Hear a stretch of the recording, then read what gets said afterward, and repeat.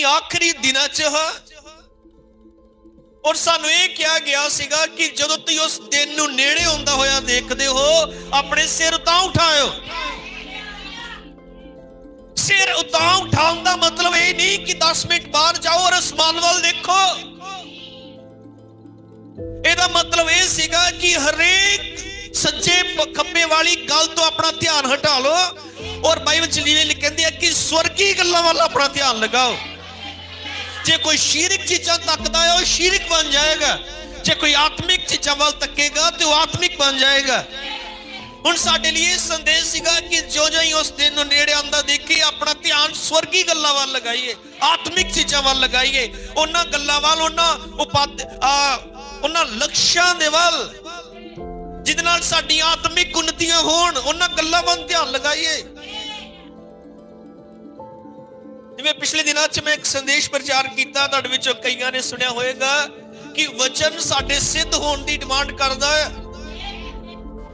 ਵਚਨ ਕਹਿੰਦਾ, ਸਿੱਧ ਬਣੋ।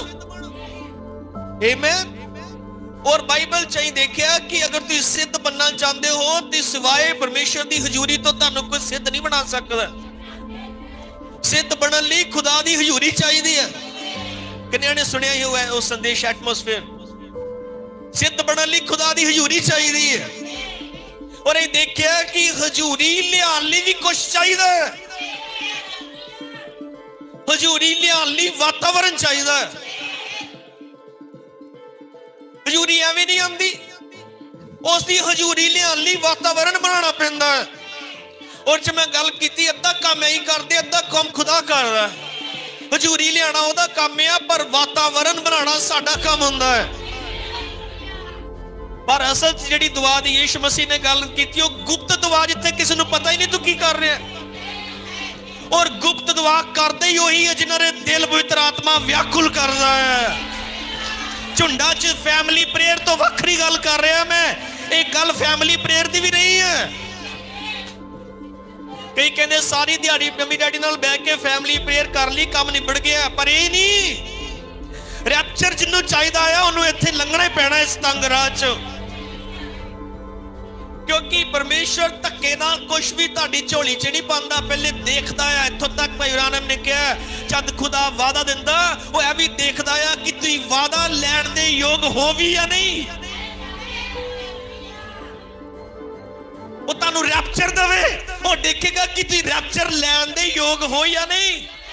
ਉਹ ਤੁਹਾਨੂੰ ਹਜ਼ਾਰ ਸਾਲਾ ਰਾਜ ਦੇਵੇ। ਤੁਹਾਡੀ ਥਿਓਫੈਨੀ ਚ ਤੁਹਾਨੂੰ ਵਾੜੇ। ਪਹਿਲੇ ਇਹ ਦੇਖੇ ਕਿ ਤੁਸੀਂ ਇਹਦੇ ਲਈ ਪਿਆਸੇ ਹੋ ਵੀ ਜਾਂ ਨਹੀਂ।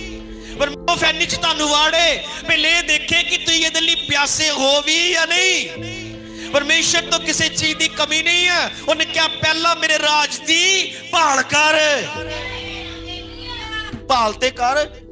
ਔਰ ਭਾਲ ਕਰਨ ਵਾਲੇ ਨਾ ਹੋਈਏ ਪ੍ਰਭੂ, ਤੂੰ ਉਦਾਂ ਹੀ ਸਮਾਨ ਤੇ ਦੇ ਦੇਗਾ।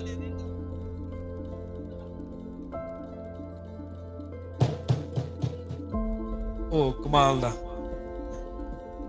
ਅਗਲੀ ਲਾਈਨ 'ਚ ਜੋ ਮੈਂ ਬੋਲ ਰਿਹਾ ਸੀਗਾ, ਉਹ ਨਬੀ ਨੇ ਕਹੀ ਅਸਲ 'ਚ। ਉਹਨੇ ਕਿਹਾ God will do the same thing today God will do the same thing today ਪਰਮੇਸ਼ਰ ਅੱਜ ਵੀ ਇਦਾਂ ਹੀ ਕਰੇਗਾ। ਜਾਓ ਫਿਰ ਛੁਟਕਾਰਾ ਚਾਹੀਦਾ ਤੇ ਦੁਆਵਾਂ ਕਰੋ ਜਾ ਕੇ। ਦਾਨੀਅਲ ਦੀ ਕਿਸ ਕਾਸ ਚੀਜ਼ ਦੀ ਲੜਾਈ ਸੀਗੀ? ਨਿੱਜੀ ਦੁਆ ਦੀ। ਸਹੀ ਹੈ?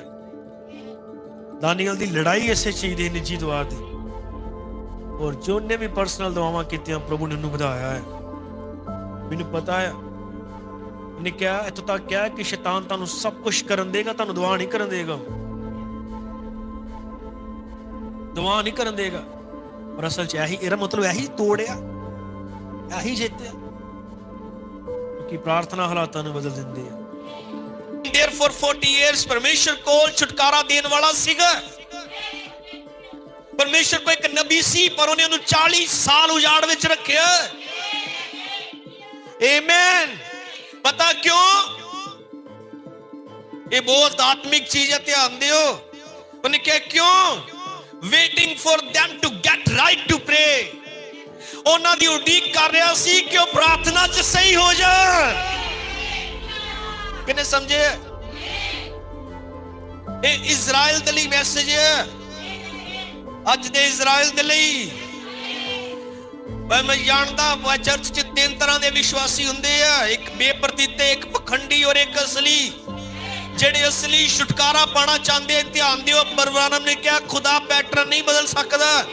ਅਗਰ ਪਰਮੇਸ਼ਰ ਤੋਂ ਕੁਝ ਪ੍ਰਾਪਤ ਕਰਨਾ ਚਾਹੁੰਦੇ ਹੋ, ਉਸੇ ਲੀ ਤੇ ਆਓ, ਜਿਹੜੀ ਲੀ ਤੇ ਪਹਿਲਾਂ ਲੋਕ ਆਏ ਸੀਗੇ। ਔਰ ਉਹਨੇ ਕਿਹਾ ਕਿ ਖੁਦਾ ਤਦ ਤੱਕ ਉਡੀਕਦਾ ਰਿਹਾ, ਜਦ ਤੱਕ ਲੋਕ ਦੁਆਵਾਂ ਚ ਆਣਗੇ ਅਗਰ ਉਹ ਕੱਲ ਅੱਜ ਕੋਈ ਯੁਗ ਇੱਕੋ ਜਿਹਾ ਹੈ ਇਹਦਾ ਮਤਲਬ ਕਿ ਅੱਜ ਵੀ ਉਹ ਉਡੀਕ ਤੇ ਨਹੀਂ ਰਿਹਾ ਕਿ ਲੋਕ ਦੁਆਵਾਂ ਚ ਜਾਣ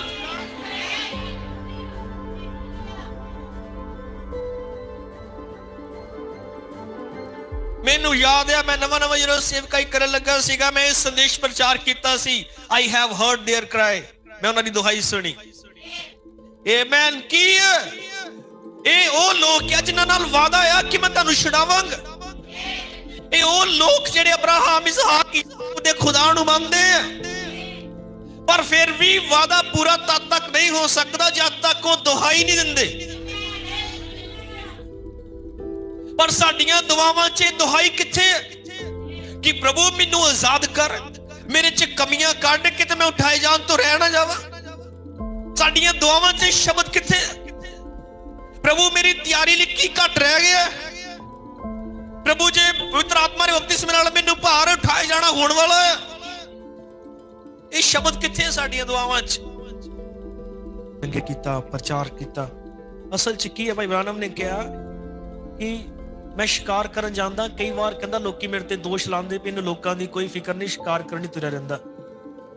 ਨੇ ਕਿਹਾ, ਮਕਸਦ ਸ਼ਿਕਾਰ ਕਰਨਾ ਨਹੀਂ ਹੈ। ਮਕਸਦ ਸ਼ਿਕਾਰ ਕਰਨਾ ਨਹੀਂ, ਮਕਸਦ ਖੁਦਾ ਨਾਲ ਕੱਲਿਆਂ ਸਮਾਂ ਗੁਜ਼ਾਰਨ ਦਾ ਹੈ। ਉਹ ਜਿਨ੍ਹਾਂ ਨੇ ਭਾਈ ਬ੍ਰਾਨਮ ਦੀ ਉਹ ਗੁਫਾ ਦੇਖੀ ਜਿੱਥੇ ਉਹ ਦੁਆ ਕਰਦਾ ਹੁੰਦਾ ਸੀਗਾ, ਉਹ ਕਹਿੰਦੇ ਐਫਬੀਆਈ ਵੀ ਨਹੀਂ ਲੱਭ ਸਕਦਾ ਜਿੱਥੇ ਉਹ ਦੁਆ ਕਰਦਾ ਹੈ। ਐਫਬੀਆਈ ਵੀ ਲੱਗਦਾ, ਇੰਨੀ ਗੁਪਤ ਜਗ੍ਹਾ ਤੋਂ ਉਹਨੇ ਬਣਾਈ ਦੀ, ਬਿਲਕੁਲ ਜੰਗਲ ਦੇ ਵਿੱਚ, ਨਾਲੇ ਨਦੀ ਦੇ ਕੰਢੇ, ਪਹਾੜੀ ਨਦੀ ਦੇ ਕੰਢੇ, ਬਿਲਕੁਲ। ਇਹ ਸਾਨੂੰ ਏਲੀਆ ਦੀ ਯਾਦ ਨਹੀਂ ਦਵਾਉਂਦਾ। ਬਿਲਕੁਲ ਉਹਦੇ ਕੰਢੇ ਜਾ ਕੇ, ਉੱਥੇ ਉਹ ਗੁਫਾ 'ਚ ਵੜ ਕੇ ਦੁਆ ਕਰਦਾ ਹੁੰਦਾ ਹੈ। ਔਰ ਮੈਂ ਕਈ ਵਾਰੀ ਸੋਚਦਾ ਵੀ ਰਾਤ ਹੋਣੀ, ਹਨੇਰਾ ਹੋਣਾ, ਡਰ ਨਹੀਂ ਲੱਗਦਾ ਇਹ ਵੀ ਕੋਈ ਸੱਪ ਕੀੜਾ ਆ ਜਾਏਗਾ ਅੰਦਰ? ਅਸਲ 'ਚ ਇਹ ਕਿ ਜਦੋਂ ਬੰਦਾ ਖੁਦਾ ਨਾਲ ਜੁੜ ਜੇ, ਫਿਰ ਕੋਈ ਫਿਕਰ ਨਹੀਂ ਹੁੰਦੀ ਵੀ ਕੁਛ ਆ ਜਾਏਗਾ। ਐਵੇਂ ਨਹੀਂ ਫਿਰ ਵਾਪਸ ਜਦੋਂ ਆ ਕੇ ਖਲੋਂਦਾ ਹੀ ਸੀਗਾ, ਕੈਂਸਰ ਵਾਲੀ ਨੂੰ ਕਹਿ ਦਿੰਦਾ ਸੀ ਸਿੱਧਾ ਹੀ, ਯਿਸੂ ਮਸੀਹ ਦੇ ਨਾਮ 'ਚ ਤੇਰਾ ਕੈਂਸਰ ਹੁਣੇ ਤੈਨੂੰ ਛੱਡ ਕੇ ਜਾਂਦਾ। ਇੱਥੋਂ ਤੱਕ ਜਿਨ੍ਹਾਂ ਦੇ ਲੱਕ ਖਾਲੇ ਕੈਂਸਰ ਨੇ ਉਹਨਾਂ ਦੇ ਇੱਕੋ ਵਾਰੀ ਬੋਲਣਾ ਠੀਕ ਹੋ ਜਾਣਾ, ਪਿੱਠ ਘੁਮਾ ਕੇ ਦਿਲਾਂ ਦੇ ਖਿਆਲ ਬੁੱਝ ਲੈਣੇ ਕਿਉਂ? ਉਹਨੇ ਕਿਹਾ, ਮੈਂ ਉੱਥੇ ਰੀਚਾਰਜ ਹੋਣ ਜਾਣਾ ਆ। ਤਾਂ ਕਿ ਵਾਪਸ ਆਵਾਂ, ਤੁਹਾਨੂੰ ਭਰਨ ਤੋਂ ਪਹਿਲਾਂ ਮੈਨੂੰ ਆਪਣਾ ਆਪ ਭਰਨਾ ਜ਼ਰੂਰੀ ਹੈ। ਉੱਥੇ ਭਰਨ ਜਾਣਾ ਆ। ਕਿ ਇੱਥੇ ਉਹ ਉਸ ਚੀਜ਼ ਨੂੰ ਲਾਗੂ ਕਰ ਸਕਾਂ ਕੱਲਾ ਜਾਂਦਾ ਹੀ ਚਲਾ ਪਤਰਸ, ਹੋਰ ਦੇ ਕੋਈ ਤੁਰਿਆ, ਯਾਰ ਤੂੰ ਹੀ ਚੱਲ ਹਾਂ। ਕੱਲਾ ਹੀ